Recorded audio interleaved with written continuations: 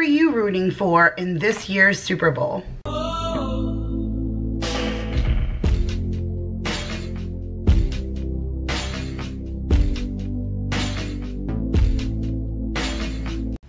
Hey guys, Kira here from 50 Shades of Mom.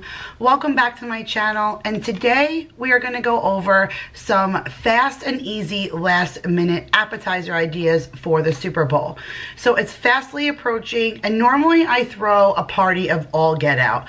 For a big football lover like me, Super Bowl is like my Christmas.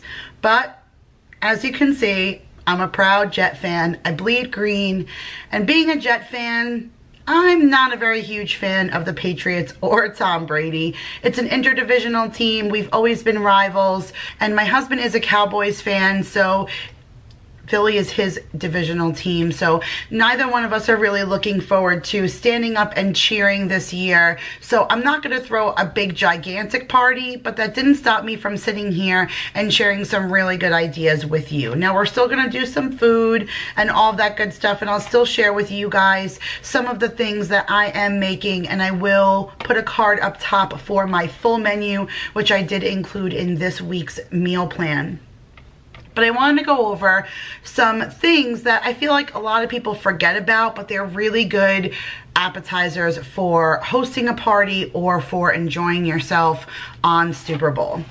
So you always can stick with your basics, your cheese platters, your veggie platters and dip. Everybody loves those kinds of things. Pizzas are a huge hit. Uh, I always love pizza at a Super Bowl party. Uh, you could do sub sandwiches like cold cuts, turkey, roast beef, ham, that kind of thing. And there's like a thousand of those frozen appetizers. Like we are doing the new Guinness ones that just came out. We're doing mozzarella sticks. We're uh, I might do some potato skins last minute depending on how many people uh, my neighbors end up coming over. So there's always those things to fall back on, but I have a few categories, you should say, that I end up making my main focus when I'm throwing a Super Bowl party. So the first one is chicken. There are so many different ways you can use chicken, but I find that it helps to be a huge focal point as a main course meal when I'm hosting a Super Bowl party. So for the starters are wings. I feel like no Super Bowl party is ever a Super Bowl party without a big old huge bucket of wings. I happen to like the drumsticks. Some people like the flats. I usually do get a mixture. I like to cook them low and slow like 250, 300 degrees for an hour with maybe like some adobo or salt and pepper and then take them out and flash fry them for like two to three minutes. They come out fabulous. They're super juicy on the inside and crispy on the outside. And I like to serve my wings dry with a dipping bar just because everyone has their own take on what they would love to dress their wings with. And I feel like once you sauce them, wings start to get soggy. And I love a really good crispy wing. So wings are always uh, a go-to for Super Bowl for me. Uh, same with making sesame jack strips. Now, if you guys have ever gone to TGI Fridays and had their Jack Daniel sauce, I am obsessed with that glaze. I worked at Fridays for six years and I could have drank that stuff. I could swear it's pumping through my veins. But I decided like I can't go to Fridays now that I don't work there like on a regular basis and I literally crave this stuff. So I mastered how to make a bunch of their dishes here at home. Now the key to making sesame jack strips is purchasing their glaze. Now if you have a TGI Fridays around you, most of those places will sell you a bag. It's like a clear bag this big and that's what their sauce comes in. It has to be refrigerated and it's absolutely phenomenal. It's very inexpensive. It's like 15 or $20 for this huge bag and it usually lasts me all season long. But these sesame jack strips are super easy. A little panko and fry them and then you cover them with this jack sauce and you sprinkle it with red chili pepper flakes and sesame seeds. Very simple but super delicious and again another focal point like your main course.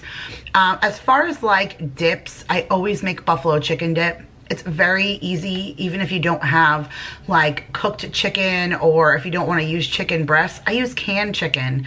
I get it from BJ's in a four pack, two cans, plus the regular recipe, which is pretty much on the back of every Red Hot bottle. So like I mentioned, any of the recipes that I speak about here in this video will be down below in the description box. Um, or you can probably go to Frank's Red Hot like website but I'll, I'll make sure to find that and put it in the description box for you. But it's super easy. It's blue cheese or ranch, your choice of dressing, with some hot sauce and mozzarella cheese or crumbled blue cheese. You really could go either way depending on how strong you like the flavor hot sauce and cream cheese and you just kind of mix it all together with the chicken and you cook it in the oven and it's really delicious and it's always been a crowd pleaser here. Uh, and then my last kind of suggestion about chicken would be chicken salad. I've made chicken salad here and shared my famous chicken salad recipe here on my channel. So I'll put a link in the description box for that too. But really just any kind of small hand sandwich. I feel like at a Super Bowl party, not a lot of people sit at a table necessarily and eat. They grab a plate, they're on the go, they're standing in front of the television or they're sitting with their plate in their lap. So my concept is always food that is not overwhelmingly messy and easy to travel with. So I love any kind of slider sandwich, anything that's housed on like the Little King's Hawaiian bread or dinner rolls. So I'll do chicken salad, but then I'll do tuna. I've done egg salad. I've done tomato basil with olive oil um, and mozzarella and done like more of a veggie um, version. And this year where I'm doing cheeseburger sliders. I made them for New Year's Eve and I didn't even get to film them because they just flew off the plate. So this year I am going to do cheeseburger sliders, but really any kind of handheld sandwich is always a fabulous suggestion. So the next thing I want to talk about, like the next category, so to say, is hot dogs. I always try and pick something from the hot dog category um, just because, again, there's so many different things that you can do with hot dogs. Now, you can do the obvious, like a hot dog bar with all the fixings, you know, ketchup and mustard, sauerkraut, onions, relish, cheese, chili, all of that, which I feel like kind of accommodates any everybody's taste buds. You even can do brats, which are the same kind of concept inside of that hot dog roll, but a big, nice, hearty sausage, and any of those toppings would apply onto something like that. Um, but then I find that there's so many different things you can do with the smaller versions of hot dogs, like the cocktail weenies. So back home, whenever I visit my girlfriend Crystal, she doesn't even ask me anymore what I want her to make when I come visit her because she makes me these things she calls crack weenies.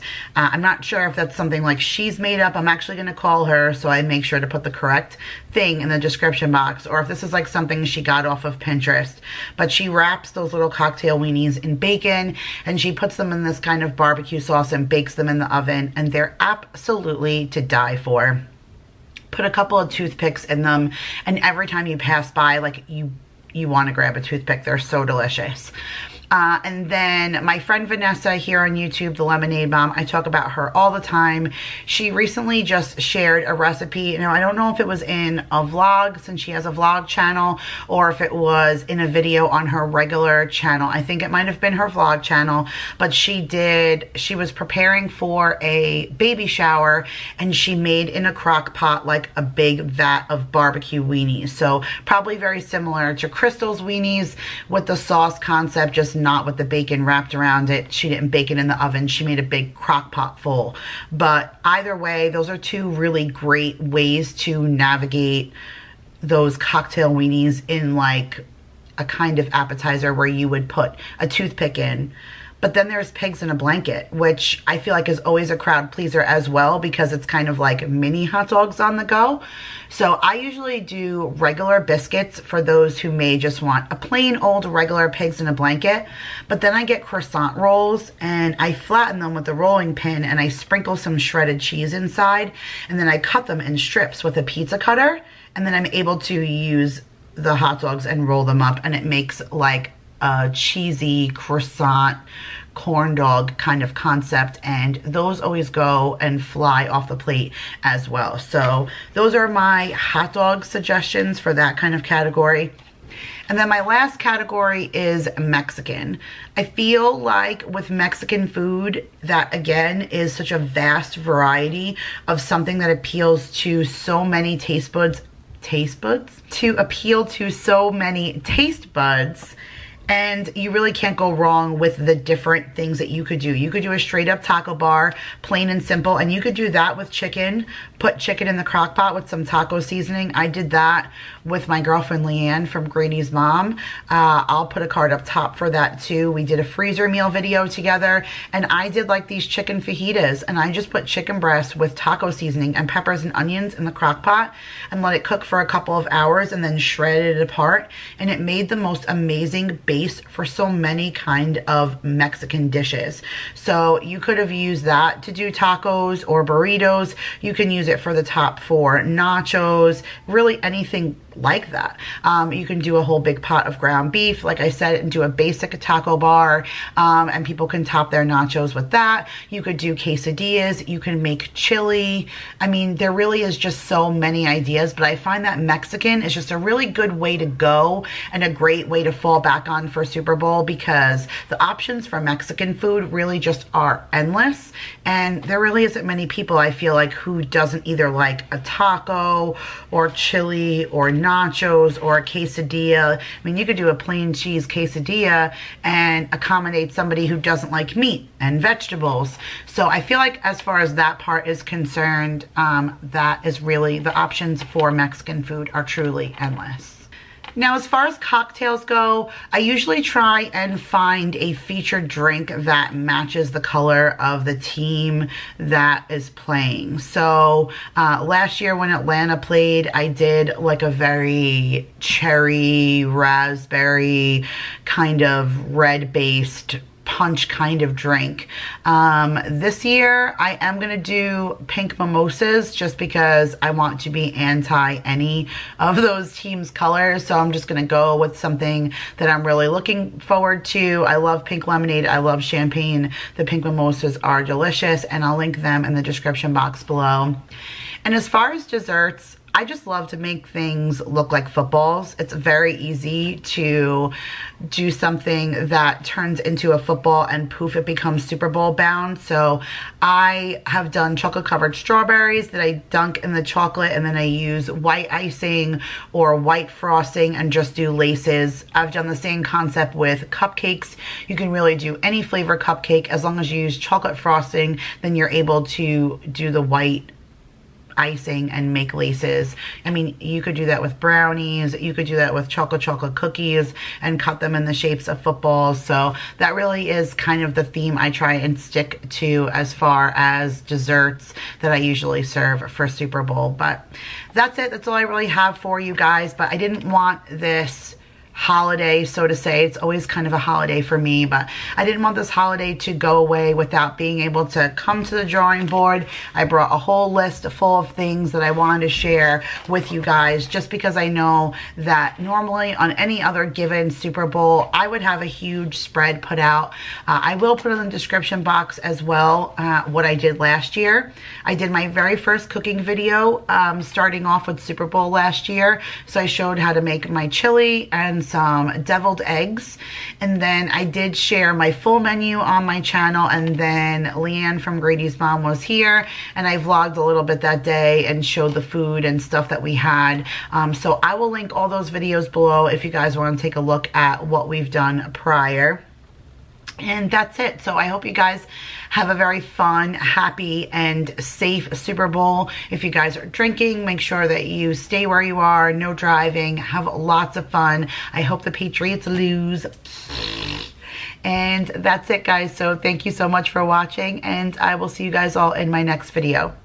Bye, guys.